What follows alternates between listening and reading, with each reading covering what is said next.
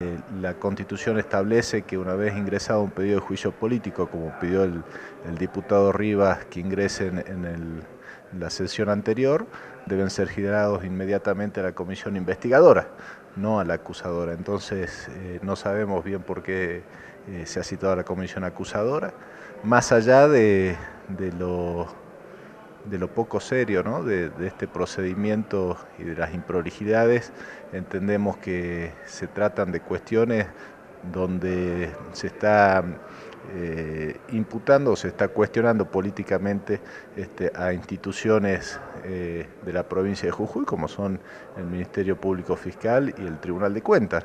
Es una cuestión grave que eh, a mi modo de ver, está siendo impulsada por el oficialismo de una forma poco seria. No, no se digamos, no se juegan con las instituciones. Creo que hay que ser serios y hay que respetar este, las instituciones de la democracia, las instituciones de la República.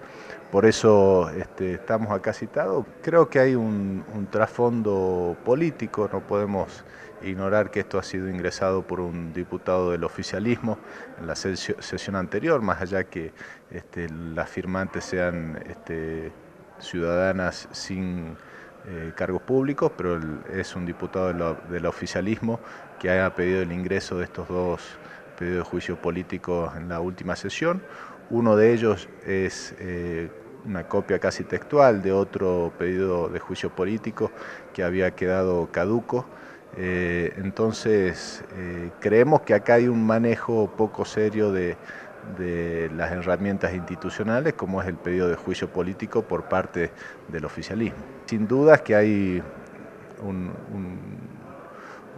objetivo este, político de tipo eh, persecutorio, ya que es la segunda vez que se, ingresa este pedido de juicio político.